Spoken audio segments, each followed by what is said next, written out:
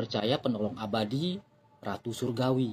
Pernah melihat di Wahyu ada guys berjumpa dengan saya di, uh, di Katolik menjawab tadi bapak dari Promedia Cell ini bertanya mengenai kalau kita memohon atau berdoa bersama Bunda Maria siapa yang menjawab dan perlu diketahui oleh bapak ini bahwa doa salam Maria itu adalah memohon kepada Bunda Maria supaya mendoakan kita Misalnya doa salam Maria, salam Maria penuh rahmat Tuhan sertamu, terpujilah engkau di antara wanita dan terpujilah buah tubuhmu Yesus. Santa Maria Bunda Allah, doakanlah kami yang berdosa ini sekarang dan waktu kami mati. Itu doa berasal dari Injil Lukas bab 1 dan Injil Lukas bab 1 ayat 43. Kemudian kita menyebut Bunda Maria itu penolong abadi, kita menyebut Bunda Maria itu adalah yang terberkati.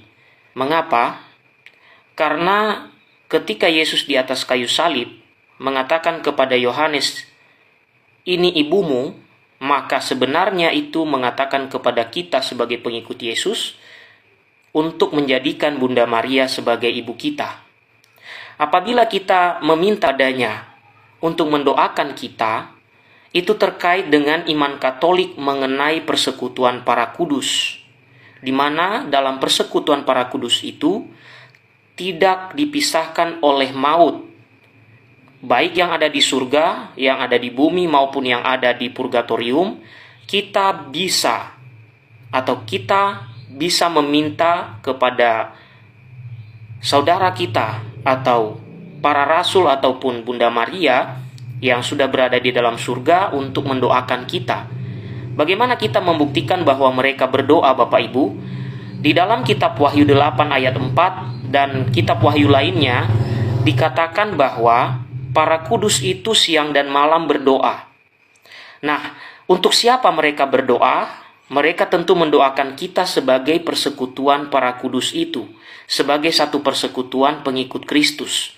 Maka di dalam iman Katolik, pada bagian terakhir syahadat para rasul disebut persekutuan para kudus. Itu artinya baik yang ada di bumi, yang ada di surga, yang ada di purgatorium itu satu di dalam Kristus dan tidak terpisahkan sekalipun maut tidak mampu memisahkannya. Maka ketika kita memohon doa kepada Bunda Maria, siapa yang menjawab? Tentu saja yang menjawab adalah Allah Tritunggal dan bukan Bunda Maria. Bunda Maria hanya mendoakan kita. Begitu saudara-saudaraku.